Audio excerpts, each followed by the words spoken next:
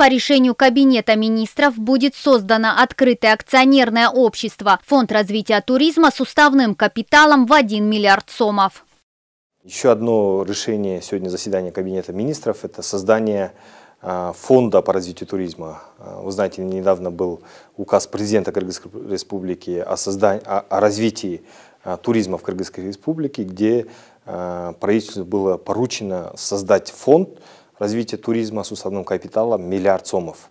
Сегодня этот фонд создан, теперь этот фонд, будет заниматься над финансированием ну, глобальных и перспективных потенциальных проектов в сфере туризма и инфраструктурных проектов, и бизнес-проектов, коммерческих проектов. То есть этот фонд будет полностью теперь будет заниматься развитием туризма в нашей стране.